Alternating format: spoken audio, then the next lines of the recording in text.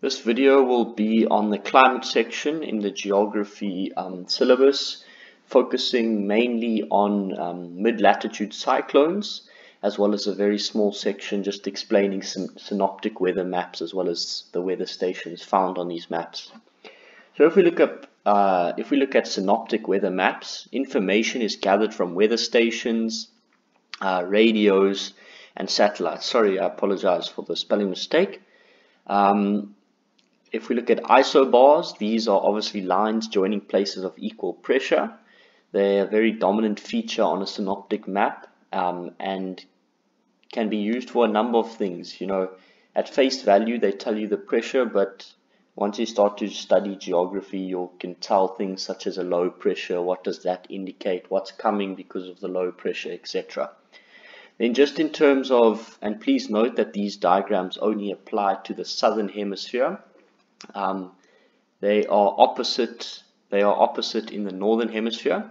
So if we look at a typical high pressure cell or an anticyclone in the um, southern hemisphere, wind always moves out of a high pressure as shown by the direction of the arrows as well as in as well as in an anti-clockwise direction so like that uh, easy way to remember this is high pressure anticyclone anti-clockwise if you know what I mean then if we look at a typical low pressure in the southern hemisphere, low pressure air always moves into a low pressure because wind travels from a high pressure to a low pressure along the pressure gradient. If we look at a low pressure cyclone um, pressure system, wind moves into the system and is always in a clockwise direction. Then um, not required um, for your final examinations, but just some more useful information. Very useful to note that your polar easterlies um, transition into your westerly winds and then your tropical easterly winds. And along the equator, you get your um, intertropical convergence zone. Uh, a lot of um, cumulonimbus clouds developing there um, with some severe thunderstorms and permanent thunderstorms. Then if we look at a typical weather station model, uh, this is what it will look like. So we'll just start out here. The top number on the right hand side is the temperature at that time. 24, um, that'll represent the dew point temperature at that time. And as you can see, because these temperatures are relatively um, close together, there's only 4 degrees difference between them. We've got quite a lot of cloud cover. The cloud cover is represented by um, the black dwarf area in the um, circle. So for this instance, you could say that the cloud cover is about uh, two-thirds. Then if we look at on the left-hand side, um, this is the weather condition at the, at the moment. So in this instance, it's thunderstorms. Um, and then if you look down here, here's just another couple of symbols. So rain is a dot, drizzle, showers, snow, hail, fog, and thunderstorms. Then the last couple of things, this line extending off here shows wind direction. Remember that you always wind is always shown as coming into the station model. So how I like to think of it is that these lines indicating wind speed are like tail feathers, so they represent the back of the um, like the arrow. Um, so the arrow is coming in. So in this instance, you could say that the wind is coming from a southwesterly direction. So it is a southwesterly wind because remember winds are always named from where they're coming from. Then the last thing is wind speed. Big line represents um, 10 knots and small lines um, represent 5 knots. Then if we move on to focusing specifically on mid-latitude cyclones if we look at some of the characteristics of mid-latitude cyclones, they are systems where cold polar and warm subtropical air masses meet forming a front. Mid-latitude cyclones have a cold and a warm front.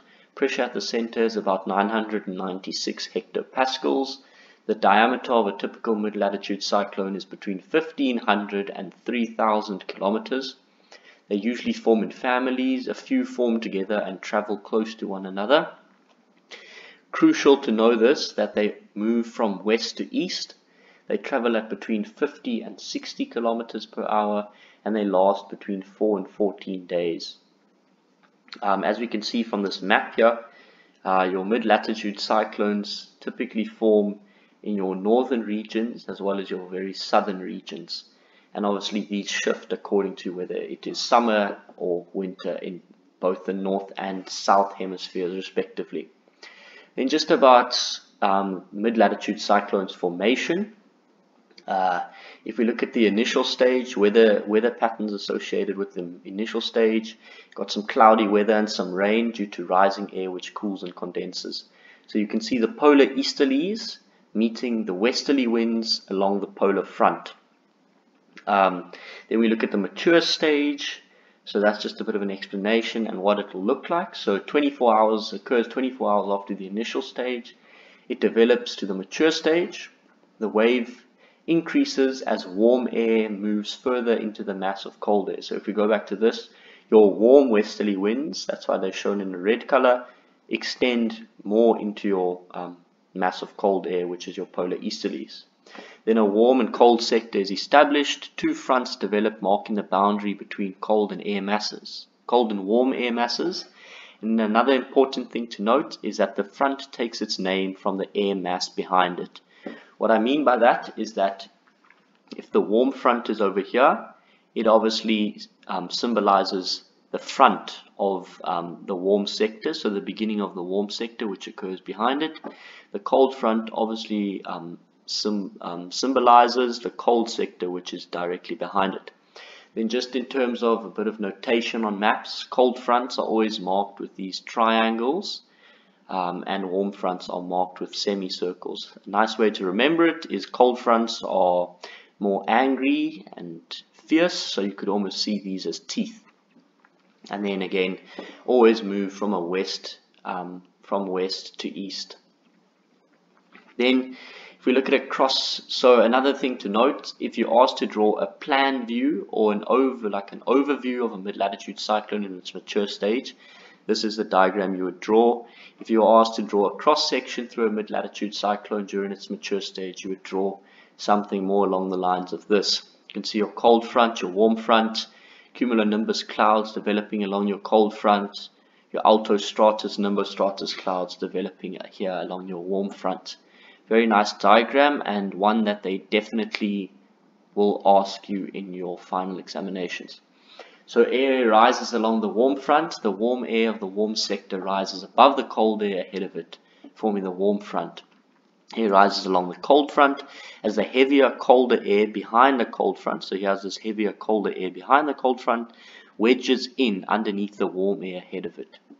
Weather form a uh, bit of weather patterns associated with this movement. Rising air along the fronts leads to condensation and cloud formation as well as rain rising air causes pressure at the center to drop. Then when the um, mid-latitude cyclone begins to dissipate, it enters a stage known as the occluded stage. Cold air behind the front travels faster than the air in the warm sector. The cold front catches the warm front. The warm air is forced to rise, leaving a small warm sector on the ground. Cold and warm fronts are now joined. Um, in terms of weather patterns, widespread rain now occurs as the warm air rises, cools and condenses, forming rain. Then if we just look at our plan view of an occluded front, we can see here that our cold front and warm front have, have met here, which becomes the occluded front. You've got your cold front still extending out, your warm front extending there. Then your last stage of a mid-latitude cyclone is your dissipating stage. The occlusion pushes warm sector air upward, the warm sector is above the ground and there is no longer warm air at the surface. No cold or warm air fronts are present when the um, system becomes fully occluded and eventually the low pressure center is surrounded by cold air and the system dissipates. Weather patterns associated with this stage, high gusts of wind, very cold winds on the ground. Then if we look at um, bit more detail into the weather patterns regarding warm fronts and cold fronts. If we look at warm fronts, warm fronts cover large areas. Warm moist air from the warm sector rises over the cold air ahead of it. The air cools and condenses resulting in cloud formation. This then results in soft rain falling due to the gentle upliftment of air along the front. As the warm front passes, temperature increases as, warm, as the warm sector arrives. The pressure decreases due to rising air in the warm sector. Uh, the humidity also increases as the warm air holds more moisture. Then another important process um, is the process of backing, which occurs in the southern hemisphere, and veering, which occurs in the northern hemisphere, although backing is the more important one because we are in the southern hemisphere. This is basically the wind changing direction from a northwesterly wind to a southwesterly wind as a mid-latitude cyclone passes over South Africa. The reason we have sketched in a northeasterly wind here is because more often than not, um, before a cold front, and I will get to it later, berg winds occur and they are commonly uh, northeasterly, north to northeasterly winds. These then shift into uh, northwesterly winds, strong northwesterly winds. As the front is making its way over, it shifts then to a southwesterly wind.